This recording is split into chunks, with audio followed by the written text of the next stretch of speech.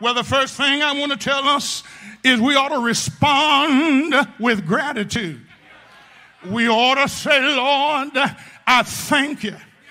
I may not have what everybody else has, but what you've given me charge over, my heart overflows with gratitude. I can't thank him enough for all he's done.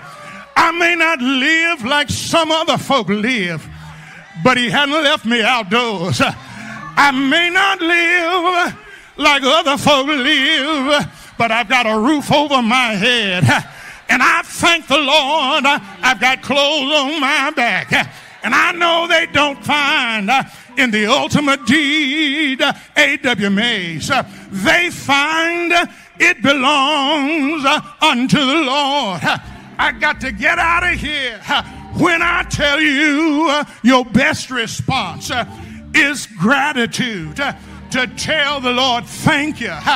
And when you respond, uh, knowing it doesn't belong to you, your response ought to be to seek the Lord's will to ask the Lord, what would you have me to do with what you put in my hands? I ask you, Lord, to give me wisdom uh, to deal with uh, what you've placed in my hands uh, because it's not mine, it belongs to you.